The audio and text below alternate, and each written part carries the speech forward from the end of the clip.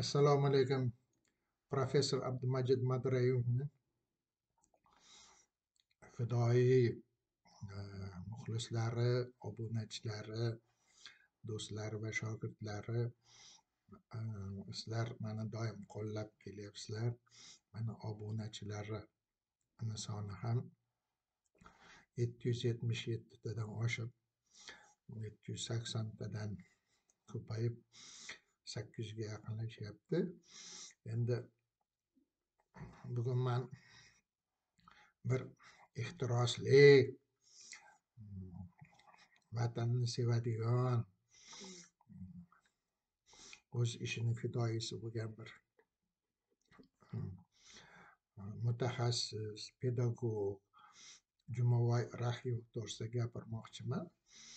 Man bu odam bilan ikki ming o'n besh ikki ming o'n oltinchi yillari o'zbekiston badiiy akademiyasi bosh ilmiy kotibi sifatida ishlab yurganda tasodifan tanishdim. Manga iltimos bilan keldi. O'qituvchi nashriyoti bir kitob qo'lyozmasini olib boruvdim.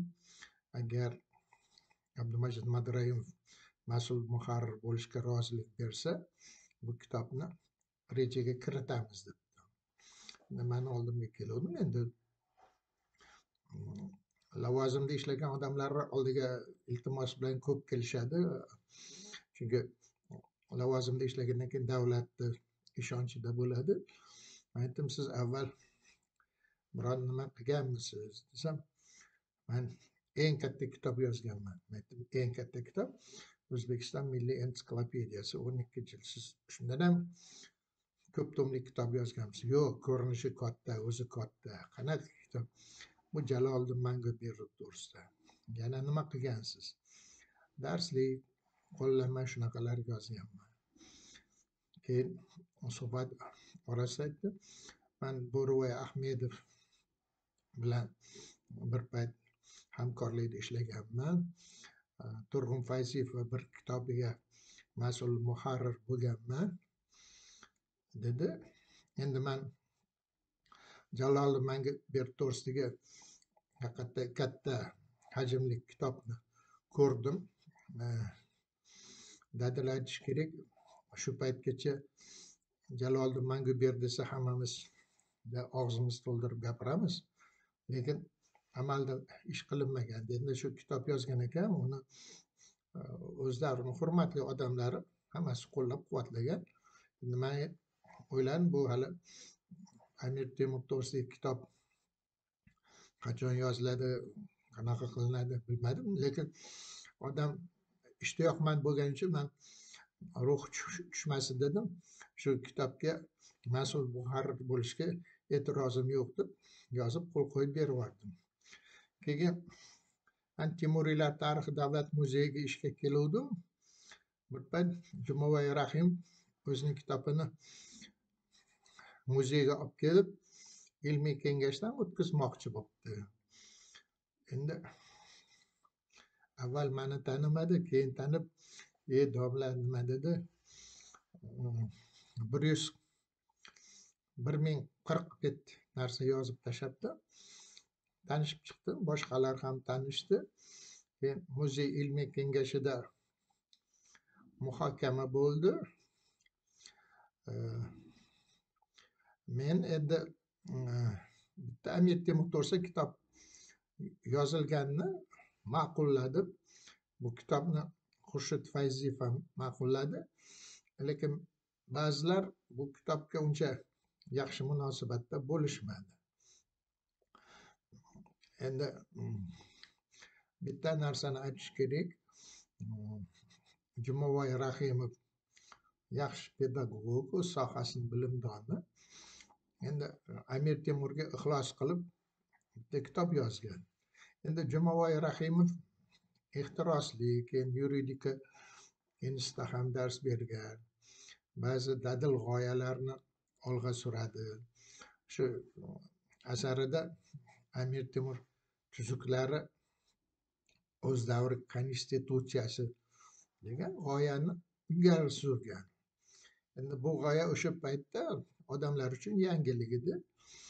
Keyin bahs bo'lganda mm, jumaboy aytdi konstitutsiya bu o'zgarmas va qat'iy qonunlar degani amir temur tuzuklarini o'z nabiralari o'g'illari uchun yozgan.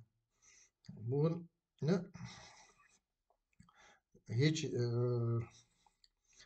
e'tirozli o'rni yo'q va e, amir temur tuzuklarini g'arbda ham o'sha qonunlar tartib intizom sifatida qabul qilinadi. O'zi tuzuk so'zni ma'nosi ham qonun qoida degan gaplari bor. Undan tashqari boshqa endi sovet davrida amir temurga salbiy munosabatda bo'lgan shaxslar odamlar ularni familiyalari bor edi. Muhokama paytida aytdi mana shu odamlar endi o'z davrini odamlari shu munosabatda bo'lgan lekin ularni farzandlari avlodlari bor. Shuning uchun e, amir temurga salbiy munosabatda bo'lganlarni familiyalarigacha katta e'tibor berish shart emas lekin amir temurni fazilatlari bo'lsa ana shular to'g'risida yozaverish kerak edi. E, keyin uni muhokamada shunaqa bo'ldi endi um, ilmiy kengash um, tavsiya qilishiga um, ba'zi mutaxassislar qarshi bo'ldi. Keyin ilmiy kengashdan keyin man aytdim man qo'lyozmangizni ko'ribdiki keyin o'zi qat'iy fikrni aytaman. Keyin qarasam bir ming qirq bet uni ichida juda ko'p narsa bor. Man aytdim bir ming qirq betni odamlar o'qish qiyin.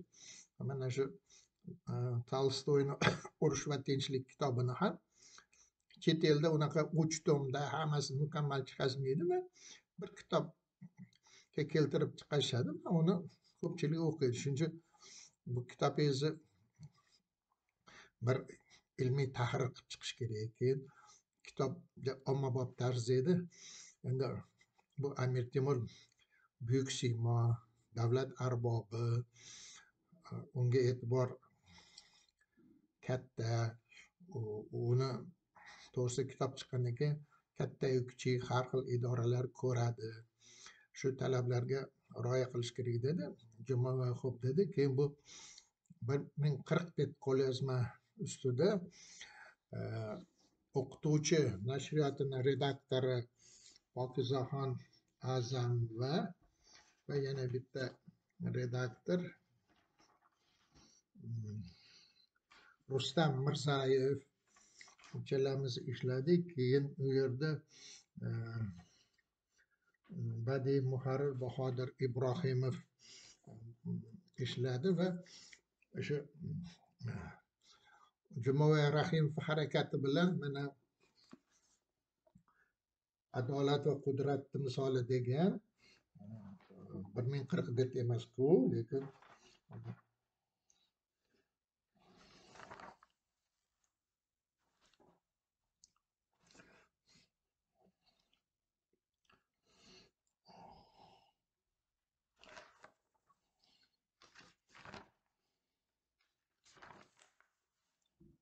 uch yuz yetmish to'qqiz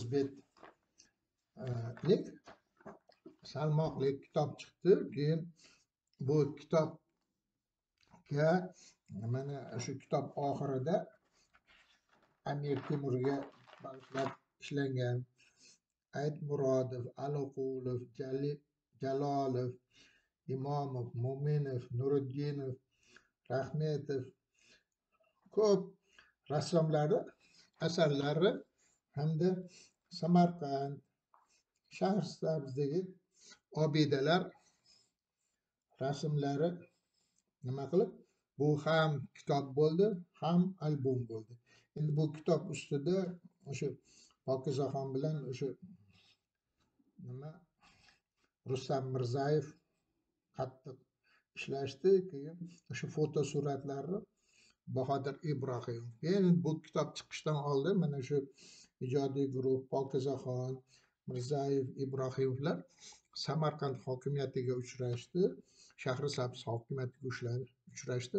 Ular amir temur to'g'risidagi kitob chiqishini qo'llab quvvatlashdilar va natijada mana shu kitob ham ular qatnashgani uchun yigirma ming nusxada chop etildi va bu kitobni yana ma'lum muddatdan keyin jumavoy kelib ustoz kitobimiz yaxshi bo'ldi nima qilishyapti bilasizmi dedi. Yo'q bilmayman desa bu kitobni muqovasini juda chiroyli qilib qimmat narxda sotishyapti dedi. U juda ham yaxshi chunki kitob mazmunli bo'lgani uchun nima uchun? Endi bu kitobni ichida e, va mana kitob oxirida foydalangan manba va adabiyotlar yozma manbalar e, keltirildi ko'rsatildi. Jumaboy rahimov ma'lum e, ish qilgan uni qo'llab quvvatlash kerak man aytaman keyin mana shuni oxirida mana jumaboy rahimov qirq to'qqizinchi yilda tug'ilgani pedagogika nizomiy nomidagi pedagogika institutini bitirgani to'qson oltinchi yil fan nomzodi bo'lgan umuman ishlari faoliyati e, yuzga yaqin ilmiy maqolasi vatanning sher yurak bahodiri. Ya'ni mm, jaloliddin manguberdi to'g'risidagi kitob keyin o'zbekiston tarixi darslik darslarda arxiv materiallaridan foydalanish kabi qo'llanmalarni ham yaratgani. Nima qildi? Endi bitta narsa mana shu kitob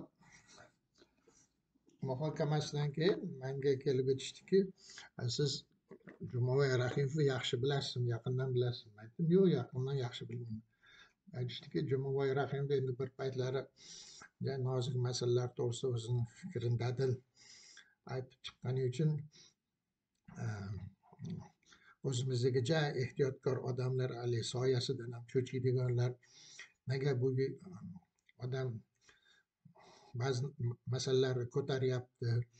U oldin bo'lgan narsalar.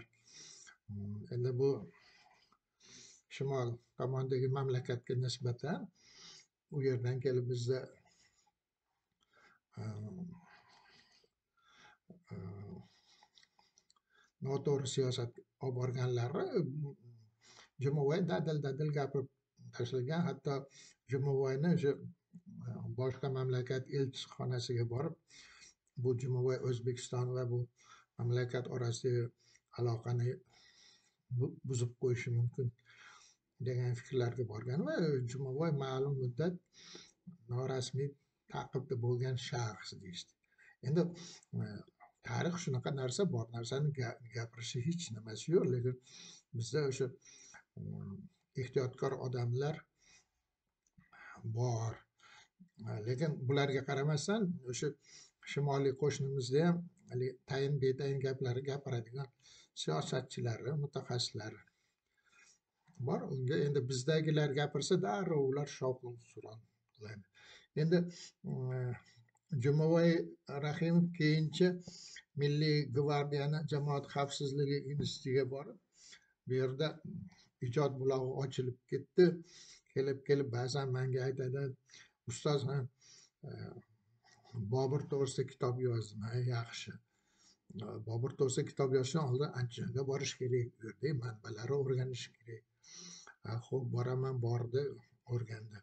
Ulug'bek to'g'risida kitob yozdim dedim aytdim. Ulug'bekni man uncha bilmaymanki kitobingizni qo'lyozmasini ko'rmadim keyin yaqinda aytdi ustoz dedi siz mas'ul muharrir bo'lgan kitobni ikkinchi nashrni amalga oshirdim dedi. Yaxshi. Darhaqiqat o'sha kitobni mana ikkinchi nashrini olib keldi. Bu amir temur buyuk davlat arbobi va ulug' sarkarda endi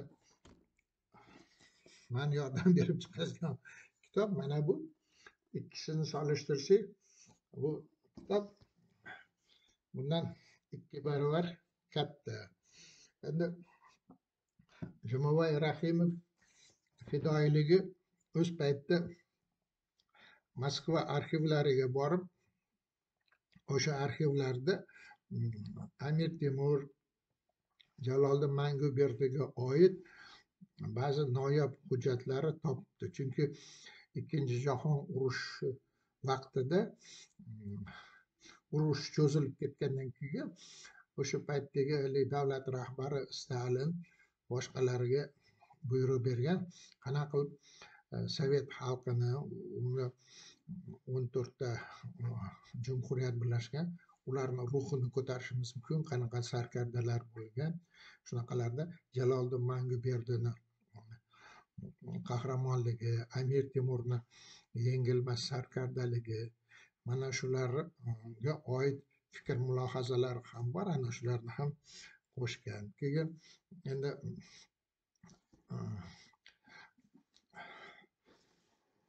beshinchi e, aprel kuni jumavoy rahimov mandan farzandimdan iltimos qildi jamoat xavfsizligi e, universiteti ma'ruza qilib bersanglar amir temur to'g'risidagi manbalarni o'rganish va o'sha temuriy sarkardalik davlat arbobi sifatida xizmat ho'p biz bordik keyin man va o'g'lim zahiriddin muhammad bobur to'g'risidagi ehm, ikki kitobdan iborat monografiyamizni ularga sovg'a qildik.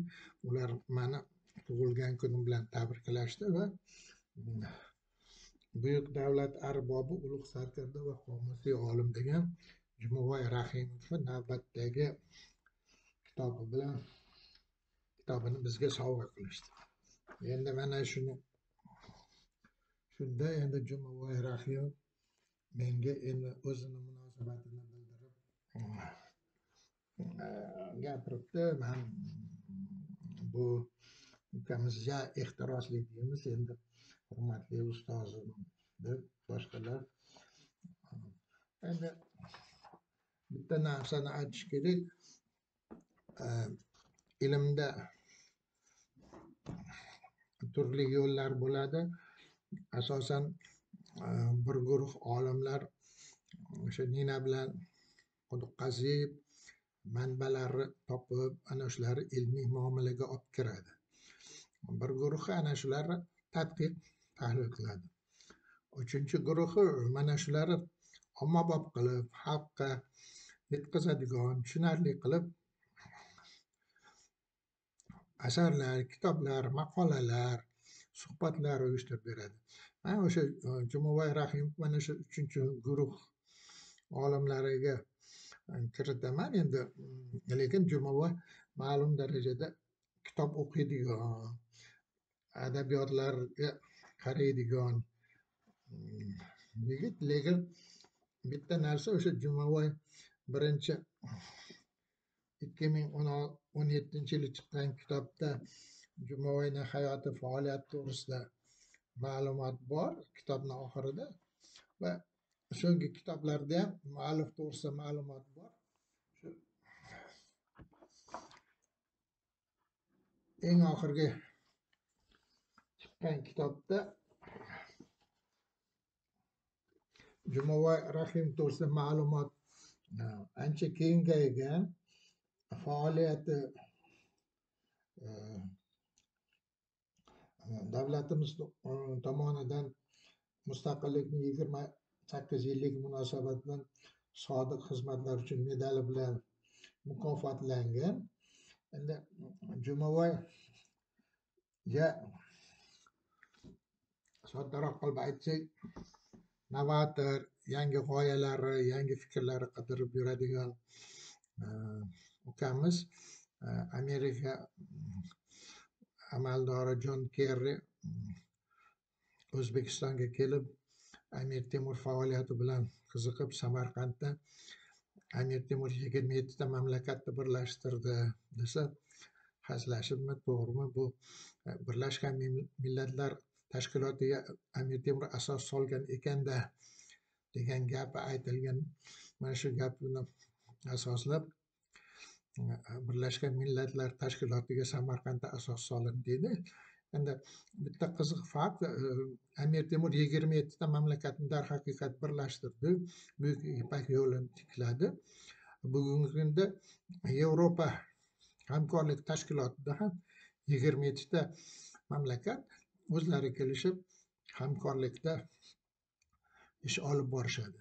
Endi mm, amir temurni mm, buyuk avlodlari mirzo ulug'bek zahiriddin muhammad bobur keyin jaloliddin muhammad akbarlar shu amir temurni e, ishlarini olib borgan ayniqsa o'sha jaloliddin muhammad akbar salohikul hozirgi kundagi konsensus ya'ni hammani roziligi bilan ish ko'rish siyosatini davlat siyosati darajasiga olib borgan buyuk shaxs. Bunda ham u o'zini amir temurni buyuk nabirasi deb tan olgan. Umuman man mm, mm, tug'ilgan kunim bilan tabriklagan o'zbekiston respublikasi jamoat xavfsizligi universiteti rahbariyatiga uni professori jumaboy rahimovga tug'ilgan kunim bilan tabriklagani va e, sovg'a bergani uchun o'z minnatdorchiligimni bildiraman. Va mm, jumaboy rahimov ilmiy ishlarida muvaffaqiyatlar tilayman. Endi jumaboyni asarlarida bahsli o'rinlar bo'lishi bu tabiiy e, haqiqat bahsda topiladi deydi e, jumaboyga omad e, va jumaboy kitoblarini o'qiydiganlar o'zini fikrini mulohazasini bildirsa bu ilm uchun foydali bo'ladi deb o'ylayman. Э, muhtaram tomoshabinlari kimga bu ko'rsatuv yoqqan bo'lsa layk bosib obuna bo'lishini obuna bo'lganlarga boshqalarga ham tavsiya qilishini mm, iltimos qilib qolardim salomat bo'linglar e'tiborlar uchun rahmat.